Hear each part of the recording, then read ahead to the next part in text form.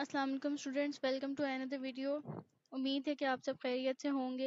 तो आज की वीडियो में हम डिस्कस करेंगे National University of Modern Languages यानी कि नमल की तरफ़ से जो हॉस्टल फैसिलिटी दी जाती है उसको बेसिकली uh, ये वीडियो नमल इस्लामाबाद कैंपस के लिए बनाई जा रही है और इसमें हम डिस्कस करेंगे कि कौन सी रिक्वायरमेंट्स हैं हॉस्टल अवेल करने के लिए कौन से सेमेस्टर के बच्चे हॉस्टल्स अवेल कर सकते हैं।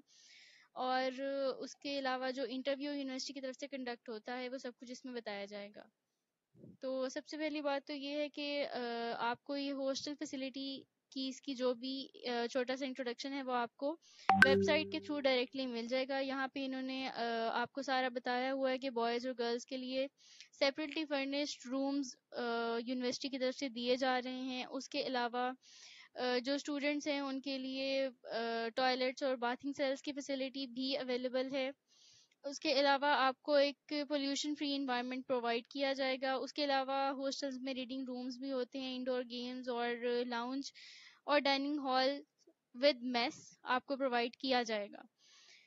तो यूनिवर्सिटी की कुछ रिक्वायरमेंट्स हैं। सबसे पहली बात तो ये कि जो फ्रेश स्टूडेंट्स होते हैं, यानी फ्रेश यानी जो अभी आते हैं इंटर लेवल करके यानी अभी जिनका ग्रेजुएशन अभी जिनके स्टार्ट हुई है फ़र्स्ट सेमेस्टर स्टूडेंट्स उनके लिए ये फैसिलिटी नहीं है।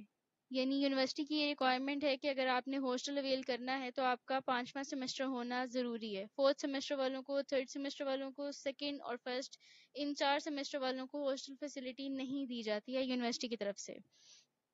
तो सबसे पहली रिक्वायरमेंट उनकी ये है कि आपका पांचवा सेमेस्टर होगा तभी आप लोगों को जो हॉस्टल की फैसिलिटी है वो दी जाएगी for boys and girls both उसके अलावा जनाब इसका जो एक क्राइटेरिया है एलिजिबिलिटी क्राइटेरिया आप उसको कह लें वो ये होता है कि इसके लिए अप्लाई फॉर्म एक होता है जो एप्लीकेशन फॉर्म होता है जिसके थ्रू आपने अप्लाई करना होता है, वो यूनिवर्सिटी में आपने अपने डिपार्टमेंट में सबमिट करवाना है। उसके बाद आपको एक इंटरव्यू कॉल आती है और इंटरव्यू कंडक्ट होता है और वो इंटरव्यू तकरीबन सात से आठ बंदे, यानी आप कह लें कि सात से आठ बंदों का पैनल होता है जो वो इंटरव्यू ले रहा होता है। और उस इंटरव्यू में आपसे डिफरेंट प्रायोरिटीज़ पूछी जाती हैं लाइक अगर आप स्मोकिंग करते हैं या आपके पॉलिटिकल बिलीव्स क्या हैं और इस तरह से रिलेटेड जो छोटे सवाल होते हैं वो आपसे पूछे जाएँगे। यानी आप की जो आप कह लें, जो आपकी प्रायोरिटीज़ हैं, जिनमें आप किस पॉलिटिकल बिलीव्स एक बहुत इंपॉर्टेंट मसला है क्योंकि हर जो बंदा है उसका पॉलिटिकल बिलीव डिफरेंट होता है, ठीक है? तो वो आपसे इस लिहाज से ये पूछते हैं कि आया, अगर आपके साथ कोई दूसरा स्टूडेंट कोई ऐसे स्टूडेंट जिसका पॉलिटिकल बिलीफ या रिलीजन आपसे डिफरेंट होगा तो आप उसके साथ सरवाइव कर भी सकेंगे या नहीं कर सकेंगे?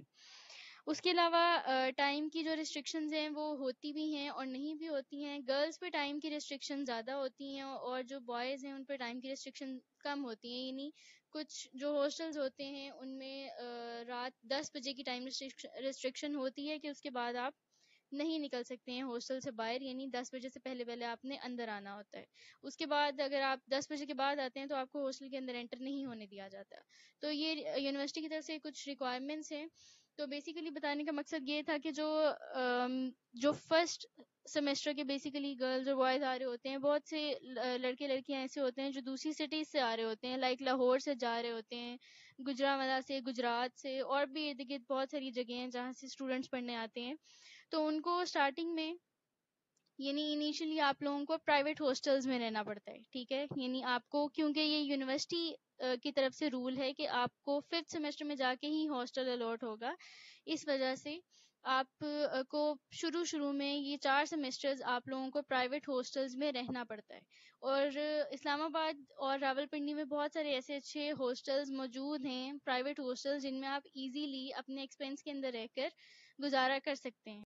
तरह के बहुत सारे हॉस्टल्स हैं जो कि आपकी रेंज में भी हैं और कुछ ऐसे भी होते हैं जो ज़्यादा एक्सपेंसिव होते हैं तो इट्स अप टू यू तो अगर आप ये देखना चाहते हैं कि नमल यूनिवर्सिटी के जो हॉस्टल्स हैं, वो बेसिकली उनकी एग्जैक्ट लोकेशन क्या है तो जब आप इसी वेबसाइट के पेज पर स्क्रॉल डाउन करेंगे तो नीचे यहाँ पे मैप दिया हुआ है। इस मैप के थ्रू आप डायरेक्टली देख सकते हैं कि यूनिवर्सिटी के जो हॉस्टल्स हैं उनकी एग्जैक्ट लोकेशन क्या है।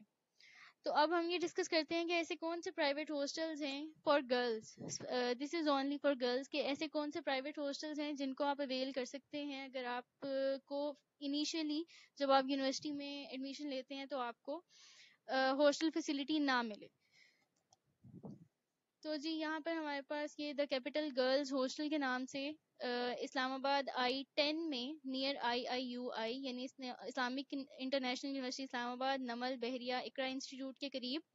आई टेन में ये हॉस्टल्स मौजूद हैं। इसमें आपको जो फैसिलिटीज़ दी जाएँगी, उसमें हाइजेनिक फ़ूड है वाईफाई है ट्वेंटी फोर सिक्योरिटी है फर्निश रूम्स है और नेचुरल व्यू है।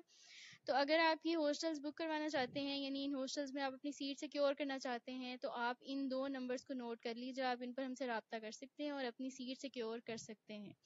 उम्मीद है कि आपको वीडियो की समझ आ गई होगी और इनशाला आप इस ब्रोशर से भी फ़ायदा उठाएँ और ये जो फैसिलिटी आपको दी जा रही है हॉस्टल्स की, आप इससे भी लाजमी फ़ायदा उठाएँ।